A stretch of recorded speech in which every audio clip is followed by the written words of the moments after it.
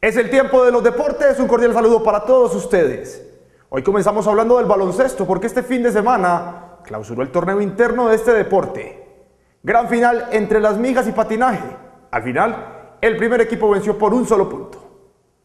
El plato estaba servido para un gran espectáculo de baloncesto. Las mijas versus patinaje. La gran final del torneo interno de Guarne. Primero contra segundo. Una final soñada. Bueno, muy contentos. Eh, la verdad que vino mucho público. Hacía días que no veíamos pues, la gente del baloncesto acá apreciando un partido de tanto nivel como fue hoy para la muestra del marcador. 70-71. Entonces, eh, pues bueno, la idea es esa, fomentar y ojalá que muchos más que no jugaron este torneo se motiven para participar en el próximo que viene. En la fase regular, Patinaje, equipo que defendía título, venció en dos ocasiones al equipo de las Mijas. Este, que se ubicó segundo en la tabla general, no fue ajeno al reto y aportó su cuota para que el cierre del partido no fuera apto para cardíacos. A pesar de liderar la mayoría del juego, a falta de 15 segundos, Patinaje perdió el liderato. Pero fue Sergio Osa quien le regresó la ventaja al anotar dos tiros libres. Marcador parcial 70-69. 69 iguales.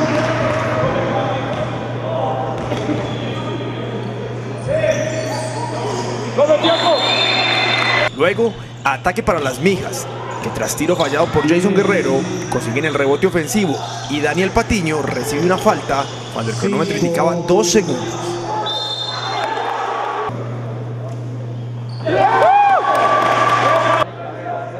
Patiño, marcado con la blusa 24, tomó y convirtió los dos tiros libres.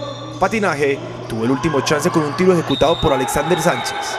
Al final, el título fue para las Mijas, quienes así ganan su primer campeonato en cinco años. Como vimos fue un partido muy disputado, eh, con mucho tropiezo, mucho, eh, mucha dificultad en cuanto a, la anotación de las canastas. Eh, se terminó con mucho, con mucho, ¿cómo se dice? Con mucho suspenso. Hemos dado por un punto y bueno, logramos con una falta que me hicieron al final anotar los dos puntos que nos dieron la victoria. Sí, no, jugaron muy bien, tenían muy buen equipo.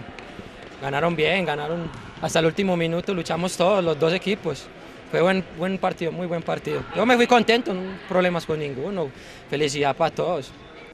Hablamos ahora de fútbol porque en el estadio Bernardo Nando Álvarez del municipio de Guarne, el equipo local recibió a La Ceja buscando el liderato de la Liga Antioqueña de Fútbol, categoría B juvenil. Al final, un empate uno por uno.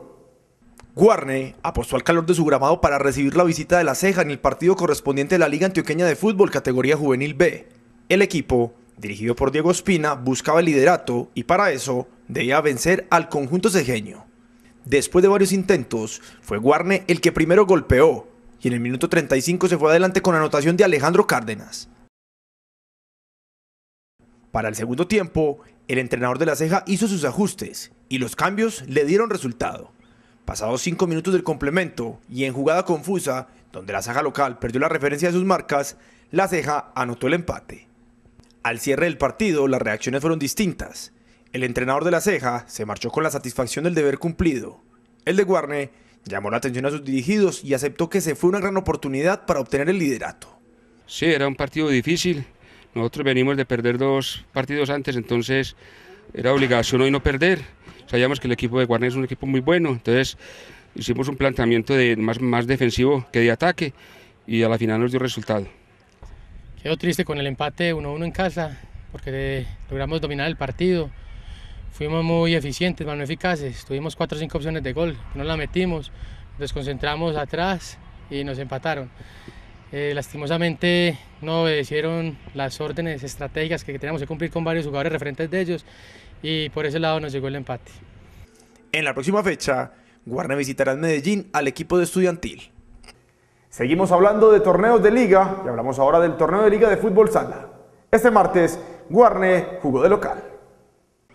Un buen número de personas arribó al Coliseo Municipal para la disputa de una nueva jornada de la Liga Antioqueña de Futsala. Guarne, equipo local, se preparó para dos grandes rivales. El turno primero fue para los hombres, quienes en complicado pero emotivo partido se llevaron la victoria al superar 3 por 1 a su similar de San Pedro de los Milagros.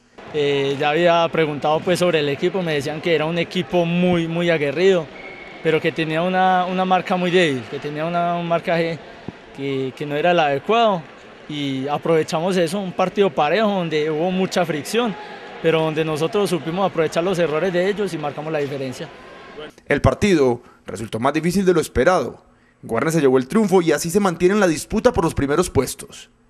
A segunda hora, el equipo femenino recibió a Río Negro, actual campeón de la liga y a quien esperaban vencer gracias al potencial ofensivo del conjunto que cuenta con la goleadora del torneo. Sí, creo que es algo que necesita de, mucho trabajo. Creo que no solo es llegar a una cancha y decir a jugar un partido, no. Creo que eso se lleva en la sangre y no sé, día a día hay que trabajar para, para sacar buenos resultados. Paula Rivera lidera la liga con 12 anotaciones. Al final, el equipo dirigido por Juan José Calderón cayó 1 por 3. Sin embargo, se mantiene en las tres primeras posiciones. Y con Fútbol Sala terminamos los deportes. Los espero aquí la próxima semana con más actividad física.